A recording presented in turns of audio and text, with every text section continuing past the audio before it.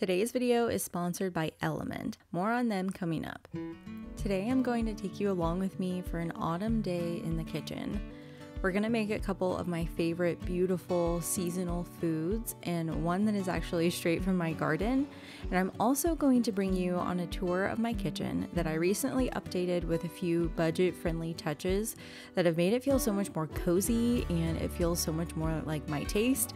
So I'm gonna show you all the details of that I am so glad that you're here today. Thank you for once again sharing your time with me, and let's get started first with the kitchen details.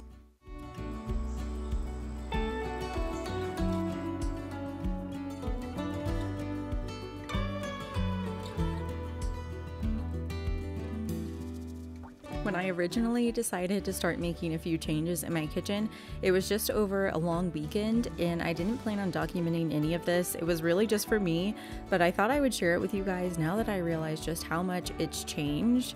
So if you want to see all the different variations this kitchen has been through, make sure you go back through my old videos and you can see how I've kind of been changing things over time as I find my style and just as I continue on the homemaking journey. But this is definitely my favorite that it's been so far. So I'd consider my style kind of cozy and creamy, but I love touches of a little bit more modern mixed with that kind of storied old feel with the brass and wood. I love those different kind of earthy tones.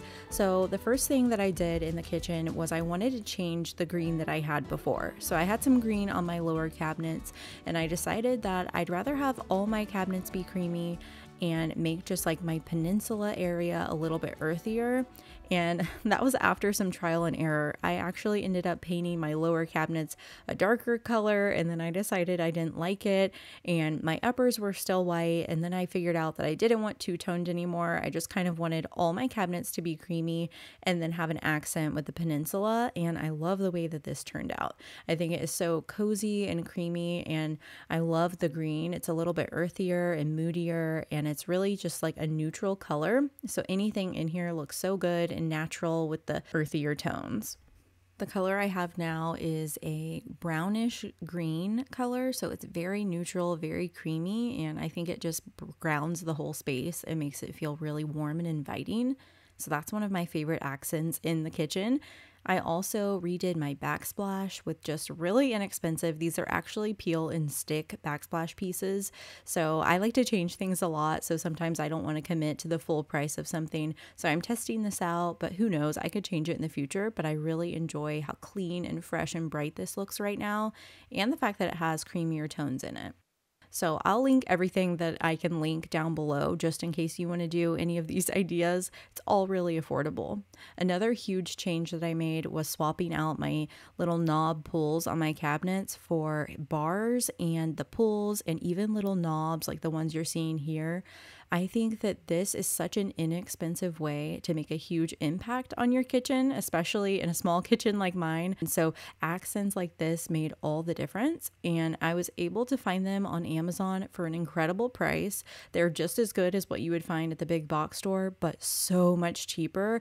And I love how this turned out. I love the mix of the more modern handlebars along with the pulls and the little knobs. I think the whole thing just complements each other really nicely, and it's fun to have all the different kinds. I spent a lot of time researching, a lot of time on Pinterest, and following different designers trying to see how they mix and match their handles. And I discovered that I liked them all, so I wanted to do them all, and I think it turned out beautifully and it functions really well. Another really impactful change that I made, which I'm so glad I did considering we're going into fall and winter, is putting a bigger and cozier area rug in the kitchen. So, anytime you have a small space, you want to maximize it by putting the biggest rug you basically can fit because it makes the space feel so much bigger. And it really does. It not only does it make it feel bigger, it is so nice on these cold LVP floors to have a cozy rug that stays in place because I put down rug pads this time. So when my kids go flying through the kitchen, it actually stays put. And I love that this rug has kind of like a vintage accent. It has the little, I don't know what you call it, but like the loose threads on the outside of the rug. So it really has that found kind of look to it, but it isn't secondhand. I found it online, so it was really easy to get my hands on. And I love how it feels. I also have different rugs that are called Cloud Pile. They're really really soft. I have one in just about every room of my house, including my living room, and then two huge ones in my kids' bedrooms because their rooms are small. So I basically covered the whole floor with this really amazingly soft floor that you just want to lay on. It is like a hug from your floor. So I was going back and forth between that and this rug. This rug's a little bit less fuzzy, but in the kitchen, that is perfect. It's enough to kind of catch the crumbs and hide it, but not so much that it's going to be buried in there forever. They had another one too that was like creamy and burgundy. It was really like that farmhousey feel, and I love that look. But I knew in the kitchen there's no way we could keep it clean, so I'm super happy with this darker, kind of moodier blue. I kept my floating shelves the same just because I already had them, so I didn't want to waste them. And then the only difference was I moved this brass bar. I had it on another wall, and I decided to put it under the shelves so I could hang some of my things and cooking items, measuring cups, oven mitts right there where they're really easy to grab. And I think it just helps make the shelves look a little bit less modern and a little more homey. Now, moving on to one of my favorite parts, which is the cabinet paint. It took me a long time to find the right one. I tried several different paints before I finally landed on the right one for this room and the lighting. It's so tricky to work with different lightings, but I love how this turned out. I ended up going with Benjamin Moore Creamy White, and I was between that and Benjamin Moore Natural Cream, which is a grayer version of it. And I ended up going with the more yellowy version just to get that really cozy feel in the space and I think it looks absolutely stunning. It's so creamy and just warm. It's just like a nice soothing canvas for the rest of the kitchen. I'll leave all the things I'm mentioning down below because I know it's so nice when you see something you like in somebody's kitchen or design when they leave an exact link or an exact name for it and then you can kind of go from there. And something I wanted to mention is depending on how your kitchen may face, I only get a little bit of light from the north in the small window in my kitchen, so it has really nice cool light. So I wanted to go with a warmer cabinet. But if you have a warm kitchen that has southern light coming in, then to achieve a similar effect, you might actually want to go with the natural cream because you'll have so much warm light kind of casting shadows on your cabinets. So you can kind of play around, but those are two of my favorite neutrals. Now here I wanted to show you my exact hardware. They all match and it's also similar to my sink faucet, which I wasn't actually going to replace, but then I found it on sale on Amazon for I think around $60 that day, which I had never seen one so low and it had really good reviews. So I got it to match all of the hardware because you're technically supposed to match your hardware and so I went ahead and matched those. For the upper cabinets, we moved from knobs to handlebars, and all we had to do to install that was get a drill bit and drill through a new hole and then attach the screws and the handlebar to it. And it was a really simple process. My husband did it really quickly. All we needed were some drill bits. I think it makes such an impact, and it's also really nice to have a big handle to grab on those uppers. I love the brass pulls on the drawers, but I knew it would be too much for these smaller drawers next to the dishwasher. So I wanted to use some of the smaller brass knobs and I love these. They remind me of something antique and they are just so gorgeous and they all match their champagne bronze. I don't know if I mentioned that already, but that is the color of the hardware. So I tried to keep it all with the same brand so that all of the hardware would match kind of exactly. And it is just stunning. Between the hardware and the cabinet color, that would change your whole entire kitchen. Now on this wall that I have in my kitchen, it's kind of a narrow path through there to the fridge, and so there's not a lot I can do here. So I experimented with a couple things. The first thing I tried was doing a little bit of peel and stick wallpaper. It was kind of like this neutral tweed. It has grays and creams, and I thought it would look really pretty and kind of go with the countertops, which are also just like a peel and stick marble because I actually have granite underneath, but it was kind of busy, and I love it when things just feel soothing. So I put peel and stick marble just over my granite. And so I thought it would go well with that. But after my husband put a couple of the sheets up, my older daughter came in and told us that it looked kind of similar to a hotel kitchen. We pulled that down and I decided to paint it the same color as the cabinets and it looks really good and I have big plans for the wall. I already have a piece up there now and a couple things that I'm waiting on, but I think you're gonna love how it turns out. So that will be coming soon in another video, but for now, that is the kitchen and I hope you guys enjoyed just seeing little touches you can do in an affordable way in a small space.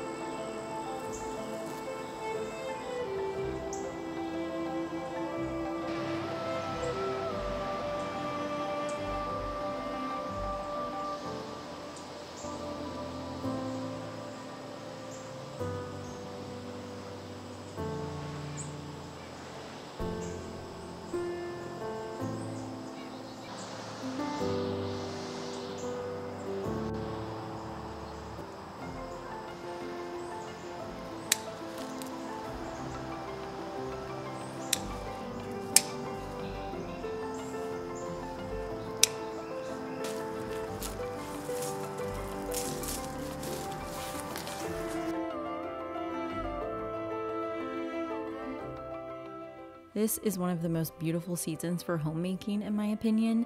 Everything has just kind of come out of the garden or it's still waiting there to be picked. So I picked a butternut squash, which I'm going to make a simple kind of casserole lasagna type of dish out of tonight. And then I also have some beautiful big bushy flowers. These are called celosia, and I've been waiting on them to get bigger all year, but they're kind of done growing, I think. So now's the time to start picking them and I cut a few just to put in this glass vase. And I love these big, oversized glass vases. They're just clear, so you can see the beauty of not only the top of the flower, but also the stem. And it was such a deal. I found it for, I think, about $10 anytime I have fresh flowers in the kitchen, it just adds this ambiance of care. It feels like I put time and effort into my space and it brings us all joy to see it and it just blesses our day. So I love having those there. Although my bees are going to be so upset with me once I cut them all down because they have had the most ginormous bees I think I've ever seen on them. So the garden is very happy with these. I've come to realize that this time of year I really can't keep enough pumpkin pie spice in my house, so I'm putting together a little jar of it today. I'm just using three tablespoons of cinnamon. I like to use Ceylon, but any type of cinnamon works. And then I'm using some ginger root, about two teaspoons of that. And then I'm going to be using one teaspoon of allspice, and one teaspoon of ground cloves. And then typically you would do one teaspoon of ground nutmeg too, but I actually prefer just a little bit less nutmeg and more of the other spices. So I'm adding about three fourths of a teaspoon of fresh ground nutmeg. And I was so excited for the first time to find fresh nutmeg. This is, I think, the first time I've ever used it, but I was able to find it this week. So I'm grating that up fresh and I'm adding that straight into that pumpkin pie spice. And I'll just keep this on hand anytime I need need it and I probably should have doubled it. I should have made a little bit more because I know we'll go through this so quickly. And I'm going to show you guys one of my absolute favorite sourdough recipes for this time of year that has pumpkin in it. So stay tuned because we're going to do that in just a second. But first, I'm going to get dinner in the oven. Today's video is sponsored by LMNT. We've all been told to drink eight glasses of water a day, but actually drinking past your thirst is not a good idea. You can end up with a bunch of consequences like headaches, low energy, fatigue, cramps. So the solution solution to that is to replace that water with something like electrolytes. That's going to give you sodium, magnesium, and potassium, all of which are going to help your body function a lot better. I find I even sleep better when I've had a little bit of electrolytes before bed because of the magnesium and the potassium and sodium in it. Restricting sodium is usually praised, but actually for a lot of us, we need more sodium to feel our best and have optimal health. It helps you achieve all your electrolyte goals, and I'll leave research for you linked down below. That way you can look into it yourself. I know a lot of us like to go digging deeper and really look at the research as to why something is beneficial for our bodies. They actually came up with a fantastic offer for you. You can go to drinklmnt.com forward slash healthy Elizabeth, and they're gonna give you a free sample pack so you can try out the different flavors with any purchase. So you can try it out, see how it makes you feel, which flavors you enjoy the most. I will leave those links for you down in the description box and thanks so much to LMNT for sponsoring today's video. Tonight I'm making a butternut squash lasagna, but it's kind of like a white lasagna because there's no red sauce in it. So the first thing I'm doing is just grating up some raw cheddar. This is just white cheddar. It's my favorite. And I'll just mix that together with one container of full fat ricotta cheese and stir that up. And that's going to be the cheesy element in this dish. And it's kind of going to be like a casserole because there's not really a sauce to it but the moisture in the butternut squash kind of makes it a little bit saucy. So we're going to mix that together and I'm going to season it with salt and pepper. And then I'm going to prepare my butternut squash.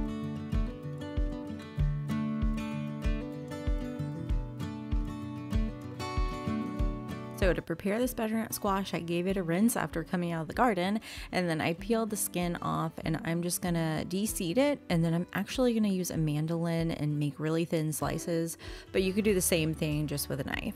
And in the meantime, I have some ground beef going in a skillet and I'm seasoning it like sausage. So I'm adding a little bit of Italian seasoning and you can add things like fennel and just season it that way, or you could just use ground sausage. And then I'm also gonna take some fresh spinach, a bunch of handfuls. I think I used three or four handfuls of spinach and just gave that a rough chop. And once that meat is done cooking, I'm gonna add that into it. Just let it wilt down a little bit. And then I'll set that aside to cool while I get my butternut squash ready to go and prepare the rest of it.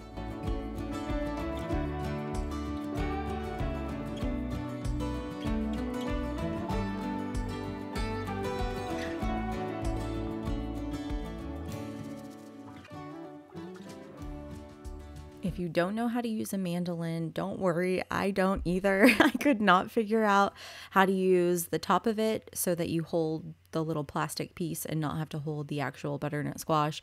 But no worries, I put on an oven mitt that's nice and thick and went to town and it worked just fine.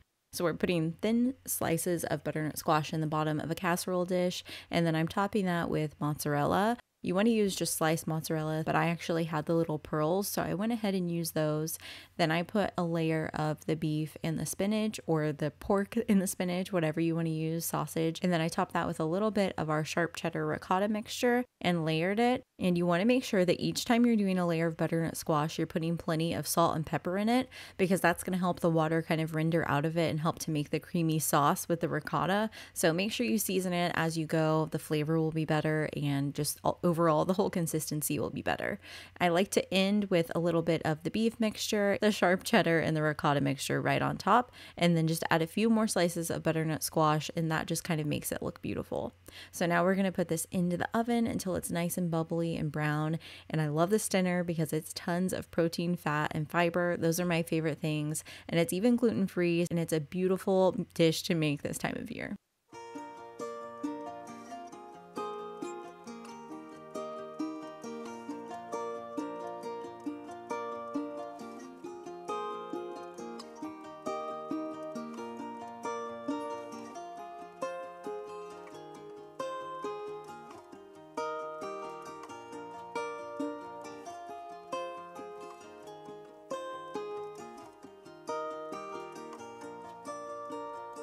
This recipe doubles as dessert and it could be a breakfast item too, but it's sourdough pumpkin cream cheese muffins.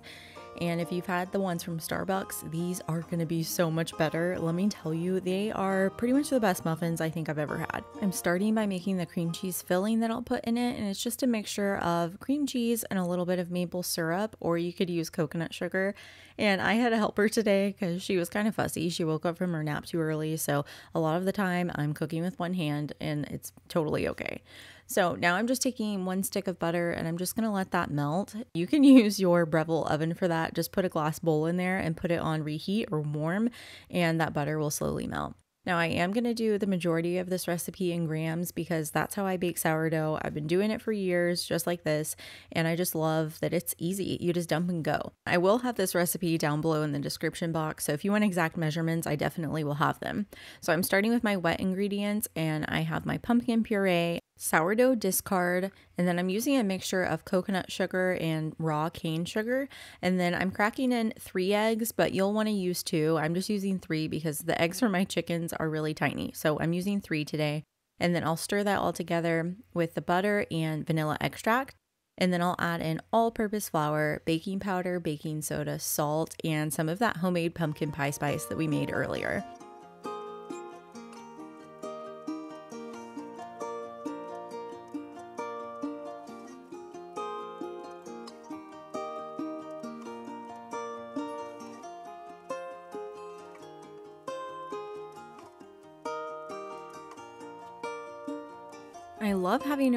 Variety of ice cream scoops on hand. They come in so handy for muffins, pancakes, and batters, and different kinds of cookie doughs. So, I wanted to show you that I'm using my big ice cream scoop and my tiniest ice cream scoop, which is closer to a melon baller. And then the middle size one is one that I use for my mini muffins. So, to kind of help you gauge those, I'll link them down below. That way, you can have the exact size I do because they are the perfect size for these kind of muffins. So, I do one big scoop of the muffin batter. And then I'm going to use my small little melon baller and I take a scoop of that cream cheese mixture and I give it a few um, little pinches just to get the cream cheese to come out because it's kind of thick. But I put that right in the middle and then I just press it down a little bit with my finger and it makes the perfect kind of cream cheese stuffed muffin. So you can either do it with a melon baller like I am, or you can use just a piping bag and a tip. You could do that right in the middle, or just some good old fashioned little teaspoons will work.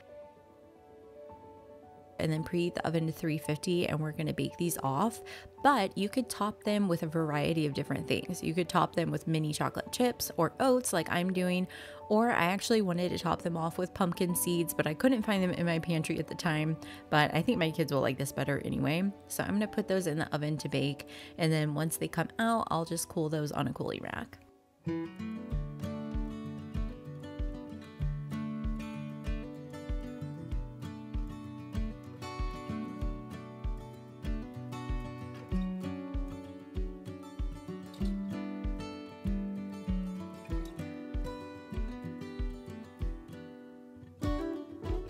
This butternut squash lasagna bake and these pumpkin cream cheese muffins are gold recipes for autumn. So I hope that you'll try them out because I know that you're going to love them. These are some of my favorites. If you have any ideas for videos that you would like to see, please leave them down below. I always love when you guys have ideas for me and videos that you're excited to see. So make sure you share that with me.